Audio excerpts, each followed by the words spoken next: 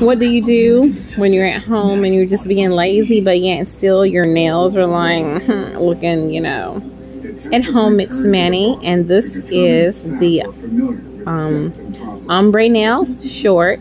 You can see how it's like a lighter tan with white. So I'm going to do this as like my main couple. And then I'm going to hit it with this, with the hearts, because it's February, Valentine's Day. That's what I'm going to do. And it's called Delana's Desert Sand and with Love Jess.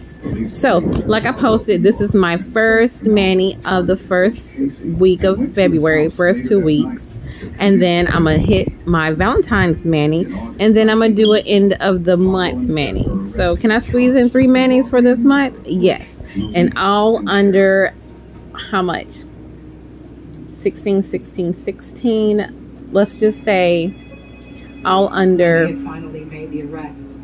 And I can tell you right quick. Look, at the beautiful nails. Why, why I calculate this? Because I'm not good with mental math. Do not judge me. Under fifty dollars. That's what I thought. I'm gonna do three manis under fifty dollars in a month. Not bad.